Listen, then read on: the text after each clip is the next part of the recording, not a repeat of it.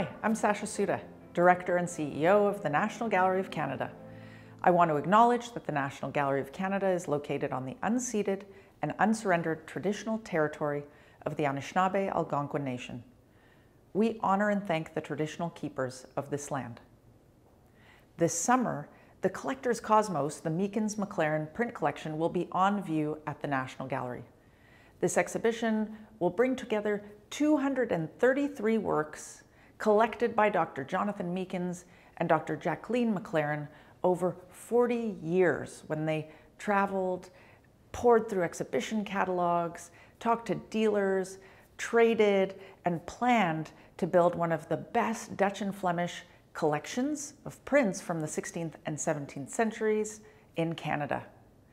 I'm thrilled to be joined today by Dr. Meakins and Dr. McClaran to discuss their collection and the upcoming exhibition. They're passionate about everything that they've done as collectors, but also as physicians.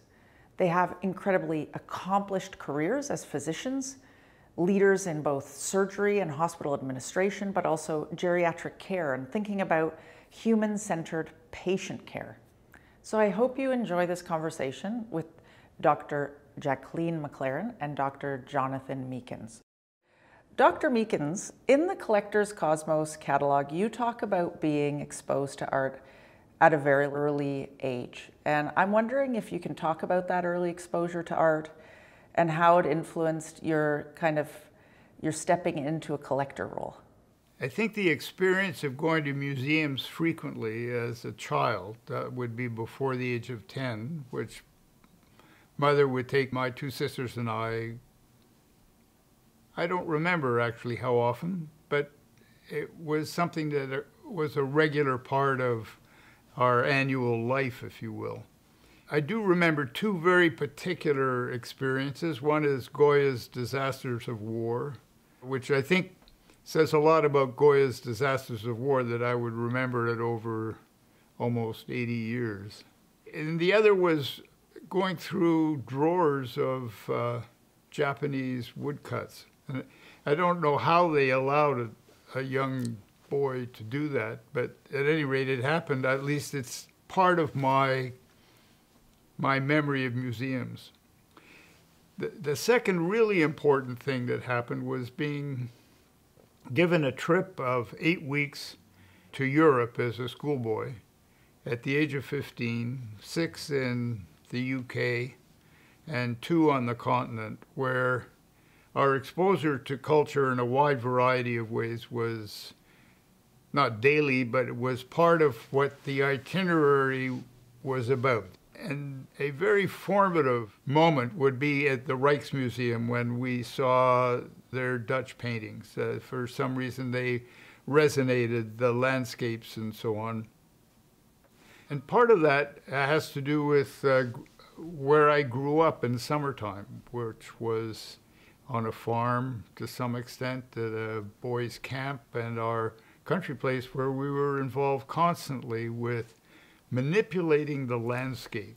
What's interesting is my most kind of visceral memories of visiting the two of you for the first time and the second time and the third time, it sort of happened to me each time, was stepping out onto the street after being in your apartment and being sort of transported to this magical place where the world was so much bigger and kind of timeless.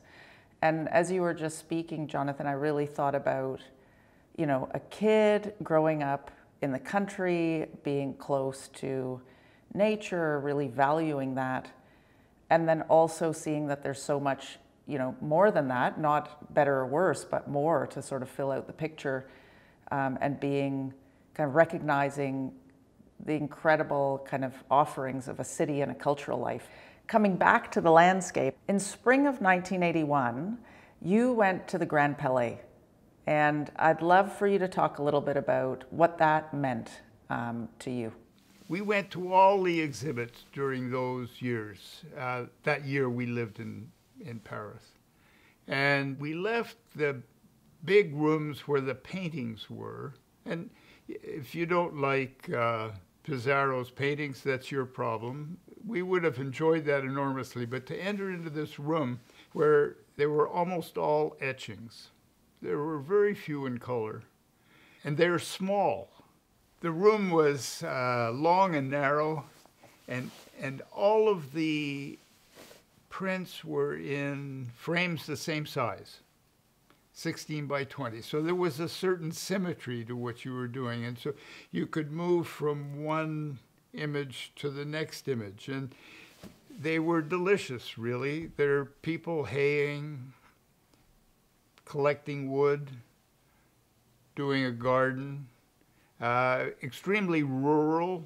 The marketplaces are, are quite special that uh, Pissarro did we had spent that whole year looking for what would we collect? What was the next step in our life now that our academic careers were on a reasonable, steady plane? We've had a sabbatical, we're settling into ourselves intellectually, some more intellectual capital, stuff like that. And I, I guess we were looking for another outlet of some sort, another creative side to life we um, are very pleased to have spent our lives in the university uh, and had tremendous rewards as a function of that. But one of the rewards is not a huge income. uh, we live very comfortably. Uh, let's not be confused about that. But the idea of buying paintings or sculptures or the furniture we saw on the left bank it was in the fifth, it wasn't possible. We, in other words, our taste, our taste for what was in wood, furniture, antiquities, uh, painting, sculpture, we, we, we could buy one, and that never made any sense to me. The furniture collecting, for example, once you have the six key pieces, that's it, and it's not a collection, and you're not going to be turning them over. Um, you're not selling them, you're not paring down your collection or enhancing it in any way. And the same with painting. When you see very large paintings, you go, oh, that's wonderful. Now you have the idea of collecting. How many pieces are you going to collect and are you going to turn them over? And there are people who do that and they are successful at it. But the great thing about prints is they're little. You can take them off the wall. You can look at them. You can take them out of their frame and, and look through them and see the artist's fingers uh, in the margins. And the other aspect of prints, uh, particularly uh, etchings and engravings, uh, are that it's purely black and white. And line is such a commitment. You make a line, that's it. And particularly if you're etching, you can't go back and fix it. That's what you're trying to create. You can't layer another layer of beautiful red lacquer over the top of pink because it's only black and white. And one more aspect of that smallness, miniatureness, uh, black and white, clarity, commitment. Another aspect is if you're nearsighted like me, um, it's really natural to want to pick up a print and look at it really closely, whereas everybody else, especially as we get older, their arms aren't long enough or they need a magnifying glass, and I don't need that. And I think that it is true that people who are particularly attracted to miniatures are likely to benefit actually from myopia because you can see minutia. You've blown my mind because I am nearsighted and I studied miniatures in graduate school. So, an example of one of the many things you learn from physicians who are interested in art and understand science and all of, all of these things that help us to see, right? I mean, we think about these things as sensorial, but mostly emotional, but there's science to all of this. So, 1981, you're at the Grand Palais, you're having these conversations Jacqueline's wanting to rent a container to put all the furniture on. You walk yourself back from that. 82 is a year where, where you start collecting, where you make an acquisition. Um, tell me about that. We went to this antique show that was at the Place Bonaventure every year in late November, early December. And there, there were dozens, hundreds of booths and there were a few print folk, but there was one guy who had all kinds of flowers, had some audubons, had uh, hookers, fruits, Pomonas londinensis, some ere, E-H-R-E-T, uh, flowers, and so on. I just found them very attractive. We bought some stuff from him that winter and then went up to see him in Hamilton this uh, dealer. My sister lived in Oakville, so we paid a visit there. acquired some Elizabeth Gould, so a few birds, a few plums and apples and stuff like that. Put them up on, got them all framed, put them up on the wall, and it was like uh, Peggy Lee. Is that all there is? It just wasn't enough. Around that time, I was a visiting professor in Minnesota. A guy I got to be quite close to, Richard Simmons, was a print collector, but he was an eclectic one. He was not, he, he accumulated prints that were of uh, absolutely top-notch nature, and they went from from Rembrandt through Toulouse-Lautrec. So there's quite a eclectic group, including Edward Hopper, and he had first-class stuff. And so the obvious thing is, uh, I was sort of gaga. Where did, how did you get all this stuff? I mean, you're you're in Minnesota for God's sakes, and so he, he told me he, he dealt with a guy in Los Angeles and uh, a dealer in, in New York. I mean, these were these were really different times, eh? Like now, you, you know, to acquire a hopper is is a six-figure undertaking, no matter what, right? I'm just the kind of level of discovery that you're describing here is really, really exciting for someone like me, who, who you know, it's just this reminder that these are multiples, but there is a, a, limit to the inventory available. So what an exciting, exciting discovery. I know I spent probably two afternoons or two early evenings with Chardonnay and uh, talking about all that stuff.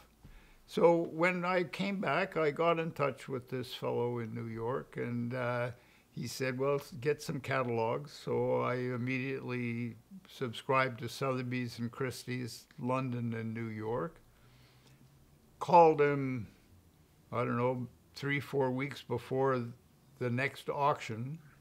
And that's when we got those two Daumiers, which were perfect, actually. One was a music teacher, and the other was teaching some kid to do something. Clarinet or oboe. Yeah. So on, in terms of uh, auction, how, what percentage of the collection that's on view in this exhibition would you say was acquired at auction? I would say it's 50%. Well, some of them are big series, you know, all the months of the year were, That's true. that's 12 in each set. And, oh, no, I would say it was close to 50, 40 to 50% were bought through auction, but always using someone else to work the auction floor. In other words, what I would do is I would go through the catalogs at night uh, before I went to sleep. Every night I'd go through the catalog, put stickies, post-its, and so on. After a 12 hour day, Yeah. no big deal. Yeah. Yeah, Well, okay. it was actually, you're right. That is perfect. It was no big deal. It was just so normal, I thought. I'm not sure Well, she thought it was right. that normal. Surrounded, the bed surrounded with, with catalogs. Then we'd both fall asleep, and then all night long you'd hear gafunk because the catalogs were falling off the bed. But in the morning he knew what he wanted, and he knew who to call, to, and he knew what his cap was for a given item, and sometimes let it go. Uh, but often it was about the quality. That was the most heartbreaking, I think, when he'd say he really wants something, the price is right, everything is exactly right, but the person he sent to look at it calls up and says, I'm sorry, the condition is not museum quality, you don't want it, let it go by. And that was often quite heartbreaking, actually. You know, could you articulate a little bit of what, what the strategy has been, if it was always in place or if it has kind of emerged as, as things went on? In the early 90s, when we came back from our second sabbatical, got settled into our new jobs and new lives, I brought everything out and looked at everything that we had and, and realized that uh, a couple of very basic things. One, we could never afford to have a survey collection of printmaking. Uh, I just didn't think that that was a feasible act for us to do, either from the time point of view or from a financial point of view. And I think I didn't want to do it anyway. So we looked at what we had, and, and we had a, quite a number of Gagnons, Clarence Gagnon at that time, and, and a lot of Dutch material. And then I looked at our library and, and found that we had lots of books on Dutch 17th century printmaking, which told me something that I liked that stuff.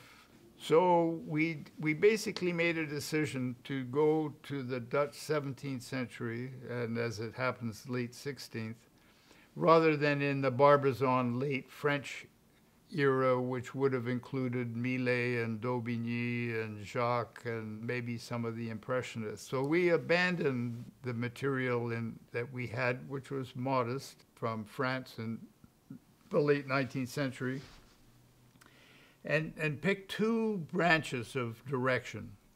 One was to collect all of Gagnon's prints, and the other was to create a collection of Dutch 17th century landscape and genre scenes. Well, I feel like we're back in the, you know, love of landscape, but pull to the city, right? And to genre. And this kind of, I always think of how the North embraces both and how, you know, it just reminds me of kind of the, the breadth of your own interests, right, in day to day life. And, but one thing that's a little bit of an outlier in the collection for me when I was going through it um, for the last few years was some of the Catholic prints. And, you know, Jacqueline, there's one in particular that's your favorite, the dispute of the church fathers over the Holy Sacrament.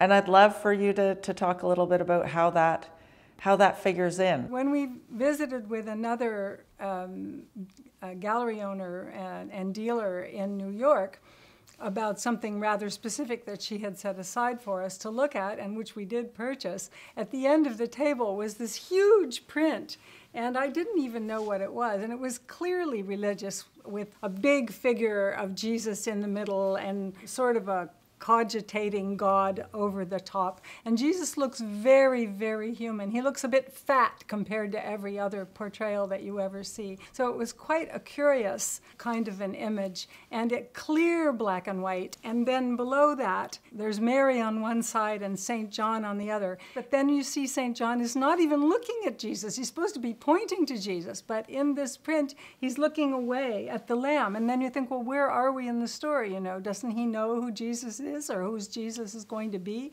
And, um, and only Mary's looking, like she knows, she's, and she looks like herself. And then down below, we see all these people arguing. The Old Testament figures seem to be all mixed up with the New Testament figures, but they're arguing about the nature of the sacrament. I realize that for most people listening to this, they're not interested in that. And they're going, oh my God, you know, get me out of here, too much religion. but actually, I was doing a theology degree during the time this was happening, so this imagery was sort of engaging me. And Jonathan bought it for me as a present, just as a present, no expectation would fit the collection, but it's by Cort, and he is Northern Netherlandish. Uh, um, exquisite engraver, and I couldn't understand why he made this image. I thought it was rather daring. It occurred after the Trent Conference, which reestablished uh, sound Catholicism throughout Europe. So here he is under the nose of the Pope, questioning the nature of the sacrament. Now, that seems rather dangerous to me, and I've never been able to find out if Cort remained Catholic once the Reformation took place or not. Well, it's this idea, just for everybody listening, that you know whether or not you know the body of Christ is actually in the in in the host, right? This idea that whether it manifests in the sacrament, and that was a a huge hotbed of not just debate, but religious warfare. I mean, especially in the North. So, uh, I, I, when you talked about it in person when we saw each other in Montreal, I just thought, I mean, this is a seemingly kind of boring, through 21st century eyes, religious scene, you know, where in fact, it's, it's the site of kind of a political debate, you know, and religious conflict. I'm curious, two things. Starting first with the ex exhibition, what do you hope people take away from it? You know, they're going to be visiting it this summer. We're going to be allowed to be in these spaces um, with much of the country vaccinated and enjoying art again after a long period of, of pause. So what do you hope that's, that experience is like for people who come to see, to see the exhibition of your collection? People would come away with an idea of what a collection is rather than what an accumulation of works on paper are. uh, and that you're you're trying to formulate an entity, uh, which in a way tells a story. So that if you look at most of those prints, you will come away with a picture of Holland in the 17th century. You'll learn that they skated from December through the end of February. When they harvested wheat, it didn't look all that different from the way we harvest wheat now, except they used hand scythes and things like that.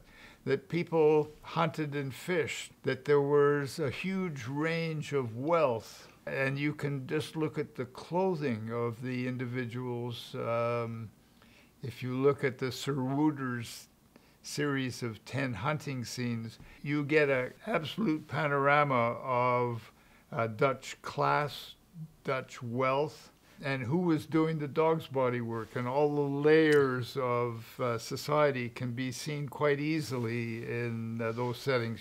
Bruegel's St. George's Fair, you'll learn an immense amount about Holland in the 17th century. So I think that there's a, a lot that a astute observer can take away that isn't going to cost them a nickel in terms of energy. They just have to be able to see what they're looking at. You've written this extraordinarily touching essay about this history of collecting and in working together, you were so, I mean, you really inspired me when you said, look, I'd like for this collection to be shared with all Canadians. And you've made the decision to, to give the Northern prints to the National Gallery of Canada.